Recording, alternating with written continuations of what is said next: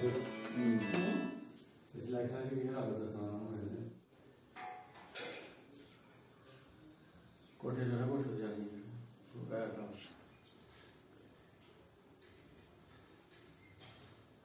वो बीच में दिखो ये थोड़ी बहुत दिखो हाँ उधर दिखो बीच में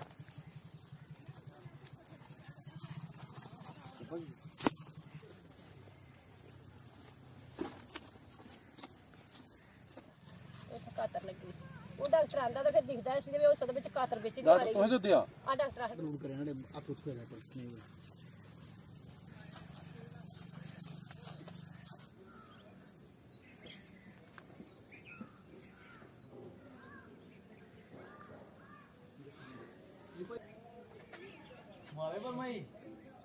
ये मोटरार का शेल मेरे मकान के ऊपर गिरा है मैं रात को सो रहा था और पहले बी एस एफ़ वाले थोड़े बता देते थे कि आज फायर हो सकता है, लेकिन रात को नहीं बताया था। तो इस कारण हम अंदर सो रहे थे।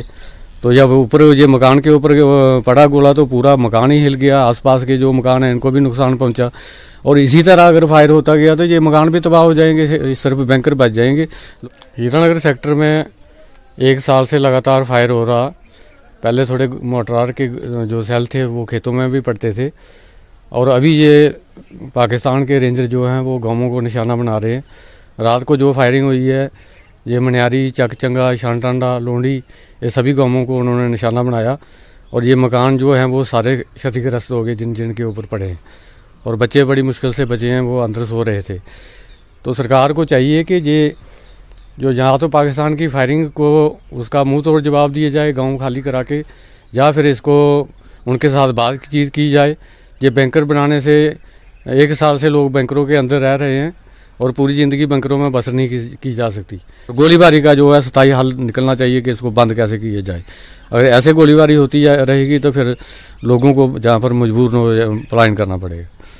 देखिए अभी हम चकचंगा जो गाँव है यहाँ पे आए हैं। यहाँ भी काफ़ी जो मोटार के गोले हैं 81 के वो दागे गए हैं और जो रिहायशी इलाका है पाकिस्तान उसी को निशाना बना रहा है।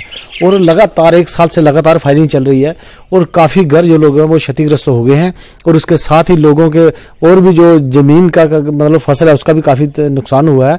और हम चाहते हैं कि सरकार को इसके लिए जल्द कोई एक्शन लेना चाहिए क्योंकि पाकिस्तान है ये सुधरने वाला तो है नहीं। इनको जब भी देखो आप फायरिंग करते रहते हैं और हमारे इधर से जो फायर है वो भी जो करते हैं लेकिन हम ये नहीं कहते वो नहीं करते, लेकिन हम चाहते हैं कि एक बार इन गाँव को खाली करके, इन गाँव को पीछे करके पाकिस्तान को मुँह तोड़ जवाब देना चाहिए।